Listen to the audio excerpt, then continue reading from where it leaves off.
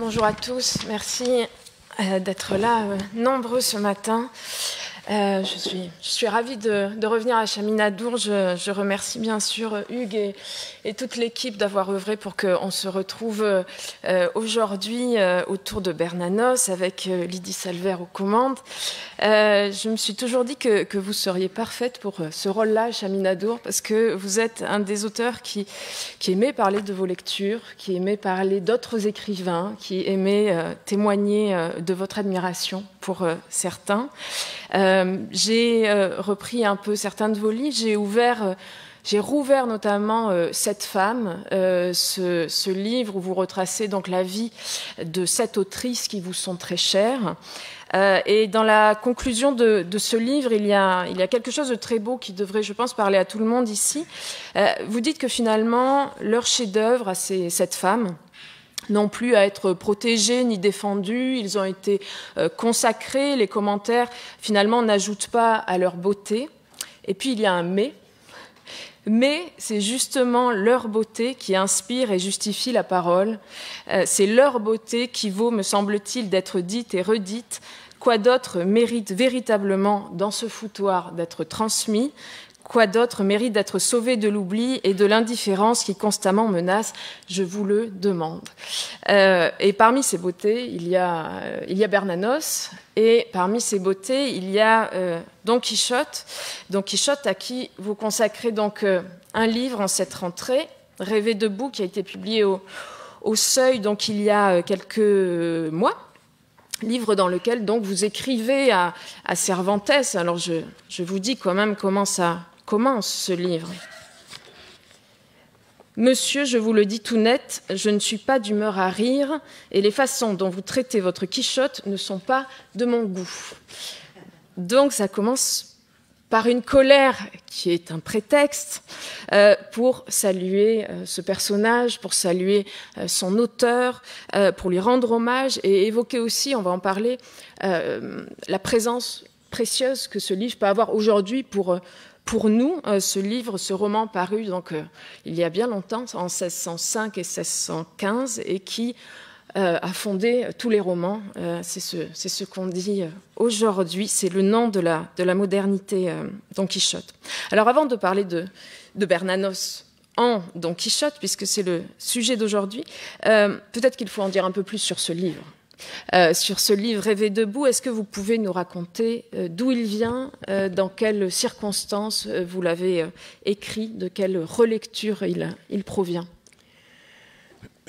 J'avais lu le Don Quichotte il y a des années parce que je faisais une licence de lettres avec un certificat d'espagnol et je l'avais lu sans le lire, comme il arrive parfois, en tout cas sans que, sans que je me risque euh, à le comprendre. Euh, euh, c'était resté lettre morte, ou à peu près.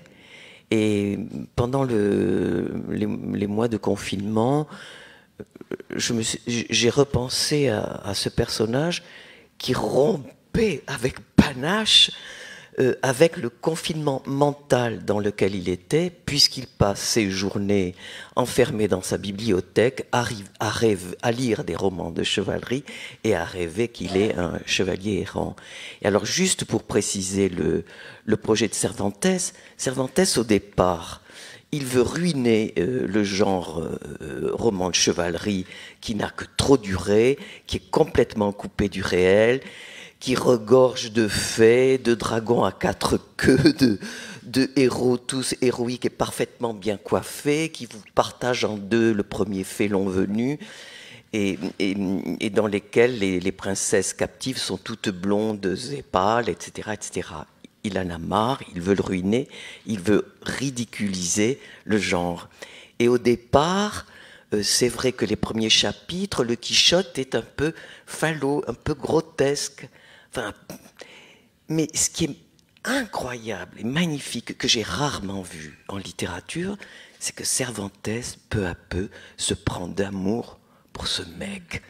Il, et, plus ça va, plus, plus, il est profond, plus il est humain, plus il est fragile et fort, plus, plus il est, plus il est, il, est, il quoi? Bref, il, l'aime de plus en plus,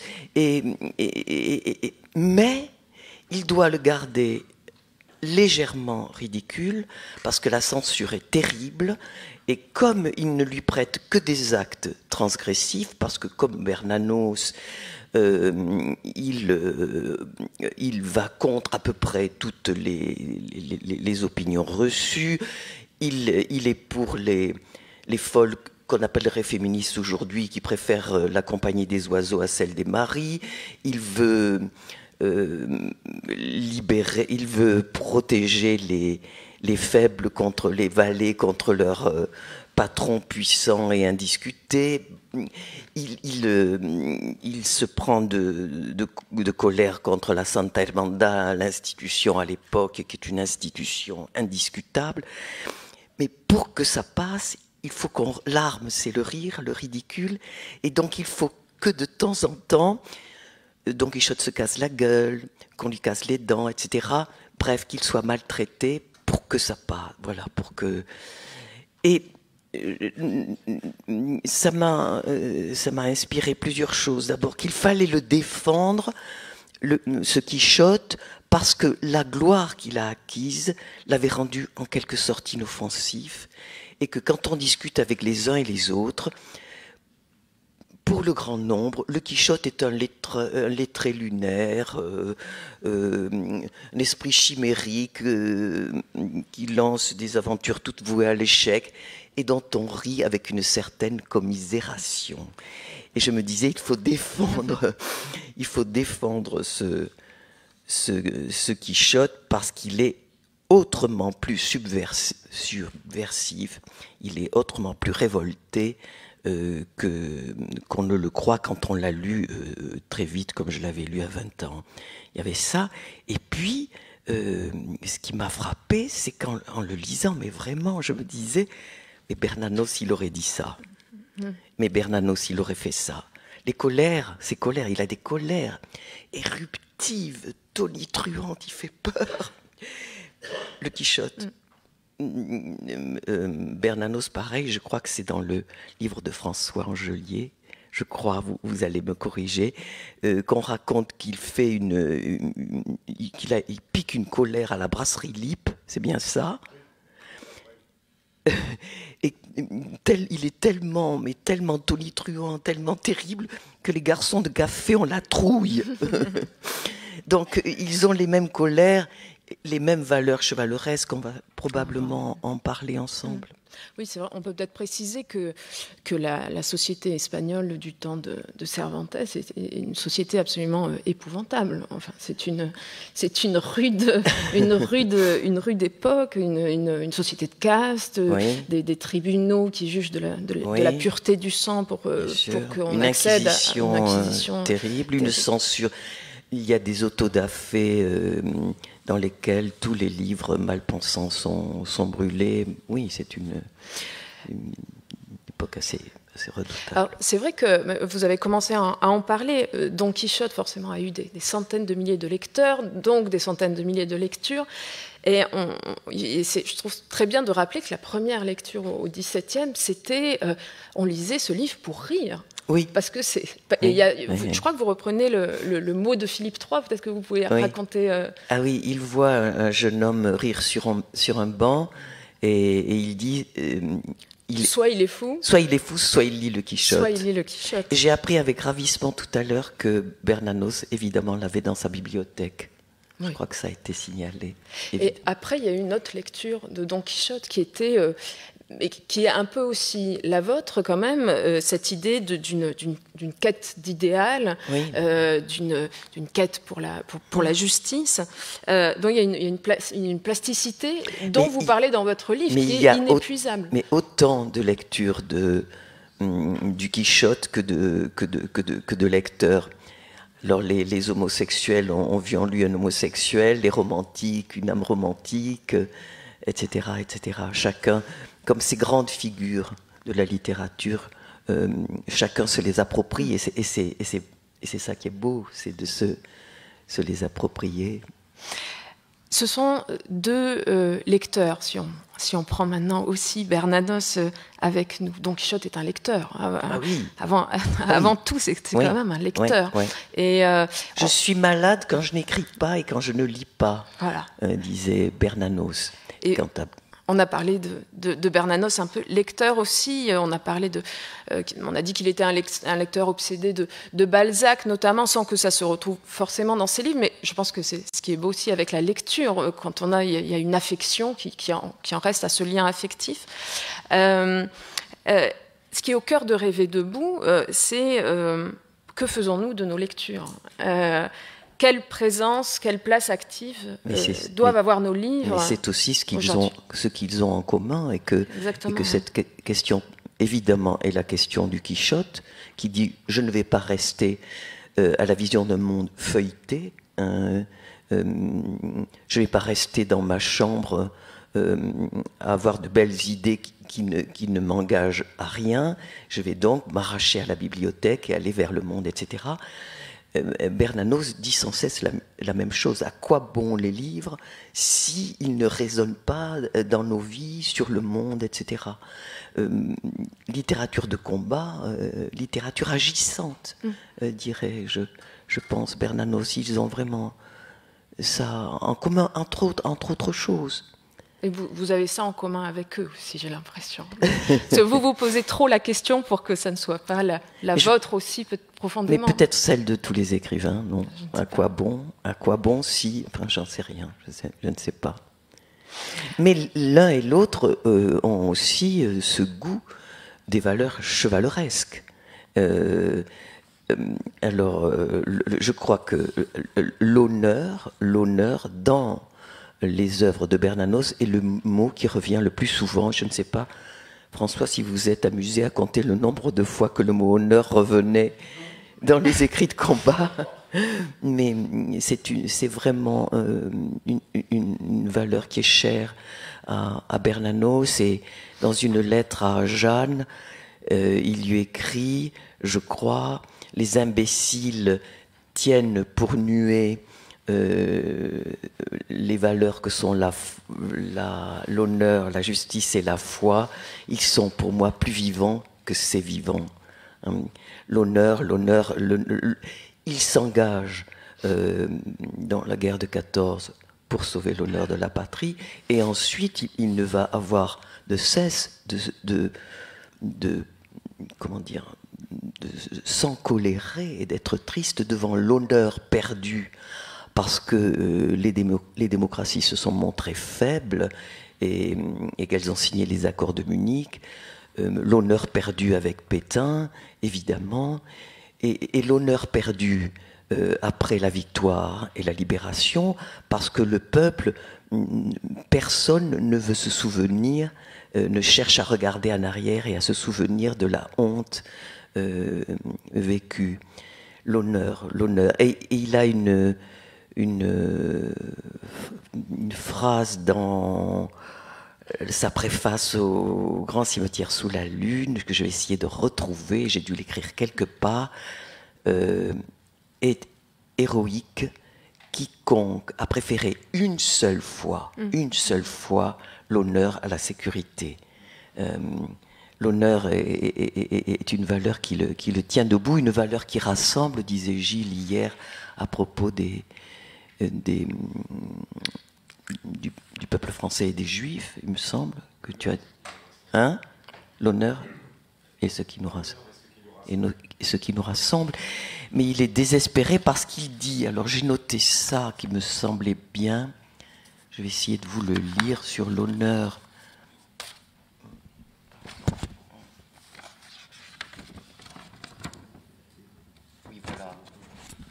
Il dit hélas, et c'est peut-être toujours euh, d'actualité, pour une société dans les, enfants humiliés. Non, je ne sais pas. Peu importe. Pour une société basée sur le profit, le sacrifice de la vie à l'honneur est un acte monstrueux, puisque de toutes les opérations imaginables, il est la seule dont le profit soit nécessairement et radicalement nul. Mm-hmm dans un monde de la spéculation, dans un monde asservi à l'économique, il n'y a pas de place pour l'honneur dont le bénéfice, le profit est toujours nul. Voilà une des choses qui le, qui le tiennent comme elles, comme elles tiennent le, le Quichotte qui sent. Et l'honneur, du coup, quitte à être seul. Parce que ce sont deux grands solitaires. le prix de, de, cette liberté, c'est la, la, solitude. C'est la solitude. Et, et, ce qui est beau, c'est que pour l'un et pour l'autre, elle est à la fois choisie. Je, je, pense que Bernanos choisit à un moment de s'écarter de ce qu'il appelle l'agent de lettrerie, etc de la même manière que le Quichotte se réjouit d'être loin de la cour où des gentilshommes se pavanent euh, devant le roi en, se perdant en, flagornerie.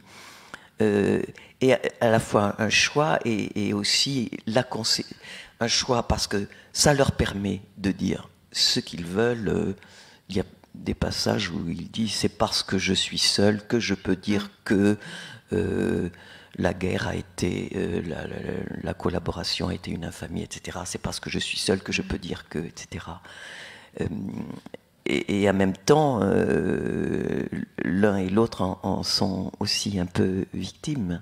Vous dites que Don Quichotte ne, ne, tient pas compte ou ne veut pas tenir compte des rapports de force, qu'il y a une forme de, de, de, de il n'est d'aucun d'un souci. Oui oui, d'un souci, mais, mais c'est un peu euh, ce, qu'est euh, Bernanos qui, qui, a beaucoup parié euh, sur les, les, premiers résistants de, la France libre, qui avait pris un pari qui paraissait impossible mm. aux yeux de tous, Pétain ayant parié sur la victoire totalitaire et, et, et Bernanos ayant parier sur la défaite mm. totalitaire.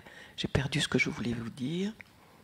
C'était sur le rapport de force, qu'il y avait aussi ah une solitude par rapport à ça, c'est-à-dire qu'ils étaient seuls face oui, Oui, oui, mais, mais ça n'empêche qu'on mène, en dépit de tout, mm.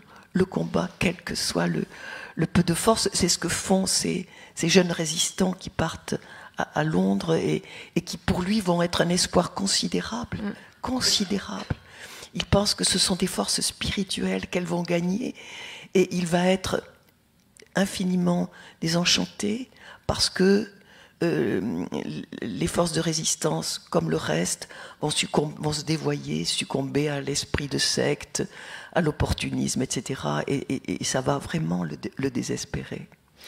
Je voulais aussi parler euh, avec vous, et pour relier peut-être ces deux grandes figures, euh, pour continuer à parler de, finalement de, l'action qui les, qui, les, qui les, rassemble, euh, c'est le, leurs ressources aussi. C'est-à-dire que vous dites de Don Quichotte, et il se relève. Ah, à chaque fois, il remonte à cheval. et vous, vous allez même jusqu'à dire, finalement, peut-être que combattre le repose. oui, parce que ce c'est vrai que le Quichotte, une fois sur deux, Nabokov a compté le nombre de défaites et le nombre de victoires euh, gagnées par le Quichotte, et une fois sur deux, mais il prend des avoinés, mais, mais terrible, il est, il est frappé, mis à terre, on lui casse les dents, on, le met en morceaux. Tout le monde pense qu'il est mort, qu'il est fini. Sancho se penche sur lui et le ramasse comme il peut dans un, comme un de, métal parce qu'il a toutes ses armes rouillées autour de lui. Et, il, repart comme en 14, c'est comme ça qu'on disait à l'époque. Il, repart parce qu'ils ont une force spirituelle. Mm. C'est là-dessus que, que, que, compte euh, Bernanos. Ce sont sur les forces spirituelles. Mm. L'un et l'autre parient là-dessus et, le corps, au fond, et peu, peu, de choses. Enfin, en tout cas, le, corps souffre, certes, mais si la, si la, force spirituelle est intacte, on repart au combat. Et je crois que euh, Bernanos, jusqu'à la fin, il espère. Je crois que dans, le, dans ce dernier livre-là, il dit, il dit, je crois que j'avais noté ça quelque part. Excusez-moi, mais toutes mes notes sont restées chez moi. Et donc, je, suis obligée de jongler. Euh, ben, je ne sais plus. Je ne sais plus. Je ne, je ne, les, retrouve plus. Mais Bernanos avait commencé par, euh, par l'action, par l'action euh, politique. Avant même d'écrire, c'était quand même, c'était pas l'idéologue de l'action française. C'était au camelot du roi. Et, l'un et l'autre sont libres, hum. mais libres. Pas de bannière, pas de parti, pas d'institution. Le Quichotte, les institutions, il les brave. On se dit, mais il est dingue, il, va à sa mort ils n'ont de rendre des comptes qu'à leur conscience, et l'un et l'autre. Et c'est pour ça qu'on aime euh, le Quichotte et qu'on s'identifie à lui et, qu'on aime. J'ai l'impression que depuis deux jours, on, aime Bernanos. Mm. On ne peut qu'aimer, je trouve, cette cette posture. Puis il y a aussi l'idée chez Bernanos, il me semble, de, de, ne, de, ne, pas se payer de mots. Quand, dans, dans, La France contre les robots, il dit euh, on perd la liberté à ne plus s'en servir. Oui, c'est magnifique. Il y a quand même l'idée de, Il dit, il dit on peut, on peut la, la liberté, ça se perd, mais ça se reconquiert. Ce qui est grave, c'est de désapprendre à l'aimer c'est de ne plus la comprendre, c'est de ne plus l'expérimenter. Il dit, il dit ça, oui, oui. Et ça résonne drôlement aujourd'hui. Alors, euh, il y a donc la, solitude, il y a la liberté, et il y a aussi euh, l'errance qui les, qui les rassemble tous les deux. Euh, euh, mmh. C'est le, je, crois, le, petit-neveu de, Bernanos au, premier soir, à, la suite du documentaire, qui, euh, qui racontait à, la question où aimeriez-vous habiter Bernanos avait répondu ailleurs. et il n'a cessé de, de déménager, de, de, voyager, donc en passant par Majorque, par le Brésil, par un retour en France, par une dernière, un dernier séjour en, en Tunisie. Bernanos disait Si j'entre au ciel, je voudrais que ce fût en qualité de vagabond. Euh, et vous dites du, du Quichotte euh, que lui aussi euh, erre, il extravague, dites-vous, et que peut-être il, meurt quand, quand, l'errance s'arrête. Il y a une forme de, dépendance à ce. Dans, dans le récit, il meurt dès qu'il arrête, dès qu'il arrête ce, ce, mouvement qui le fait aller sans cesse en avant. Euh, euh, à la recherche de, l'impossible, essayant d'attraper le ciel, et, euh, à la recherche d'un idéal qui se, qui se dérobe de jour en jour. Il a le Quichotte, il a, le Sancho, ceci dit, pour le ramener sur terre, pour lui dire tu as des limites humaines, tu, nous sommes dans la finitude, euh, il faut faire avec, avec la réalité nue, la réalité brute. Il y a, et chez Bernanos, je trouve qu'il y a un peu des deux. Hmm. Il y a ce côté, euh, euh, je vais attraper le ciel, je vais courir après l'idéal, etc.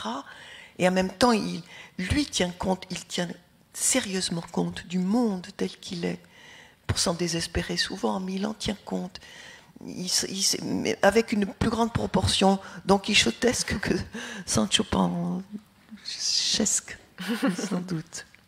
Vous parlez d'utopie à propos de, du Quichotte. C'est pas un mot qu'on a employé pour, pour évoquer la, pensée de Bernanos. Est-ce que on, peut l'évoquer aussi? Je ne sais pas. Mais il, il, euh, quand il est très jeune, il adhère au cercle Proudhon, hmm. je crois. Hein. Euh, qu'on peut regarder aussi comme une, sorte d'utopiste, peut-être. Et, son, son, son, rêve, qu'on peut dire utopique, après tout, c'est euh, au départ de réconcilier euh, les syndicalistes et les monarchistes, les aristocrates et le peuple. Et il y a un peu de ça. Alors, euh, Bernanos, je crois, est très euh, nostalgique de la période de la Révolution de 1789 jusqu'à la Terreur, mm. parce qu'il dit là, la liberté a été une, euh, et, le peuple et l'élite ensemble. mais il, il, garde toujours ce rêve que des hommes nouveaux vont, vont apparaître, et c'est ça que je voulais vous, vous, lire et que je ne retrouve plus. Euh, on peut dire que c'est une sorte d'utopie qui le... Enfin, j'en sais rien, on en discutera ensemble peut-être après.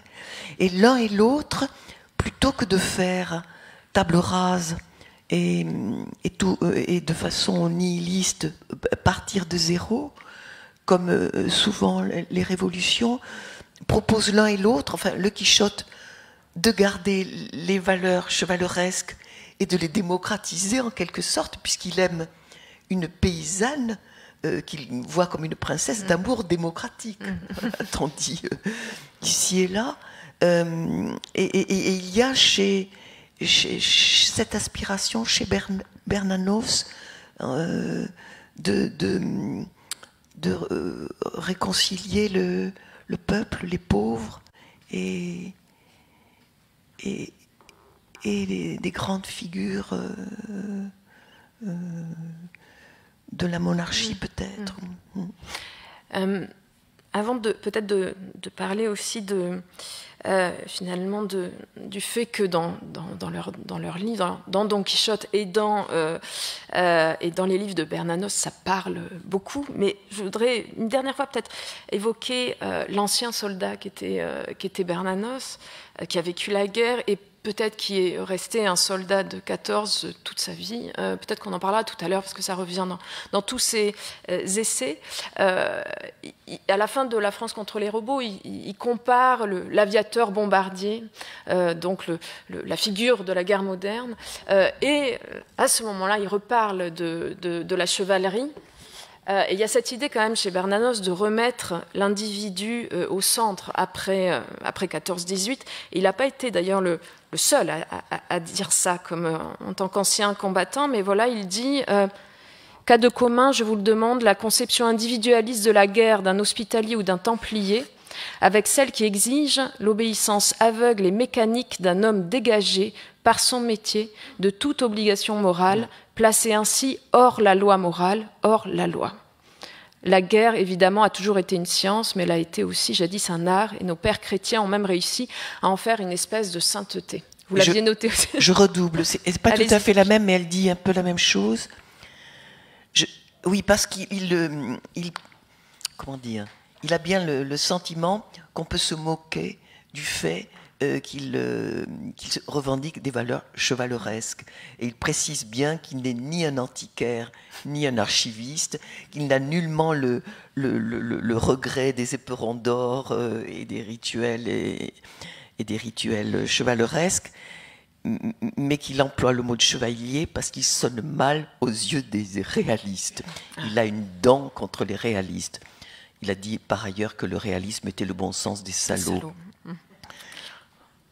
Euh, et donc, euh, voilà, je ne désire pas passer pour un de ces écrivains qui parlent de l'ancienne chevalerie avec une excessive complaisance, mais enfin, le dernier imbécile ne saurait prétendre qu'un chevalier du XIIe siècle se faisait de sa vocation militaire une idée aussi basse que l'est la nôtre aujourd'hui, c'est-à-dire d'être un instrument passif et obéissant dans la main de ses chefs, et par conséquent dégagé de toute obligation morale, le chevalier du douzième s'engageait personnellement par des vœux si solennels qu'aucun ordre ni aucune autorité n'aurait pu le contraindre d'y manquer et faisait des actes qui ne relevaient que de sa propre conception de l'honneur. Encore une fois, l'honneur est à l'honneur.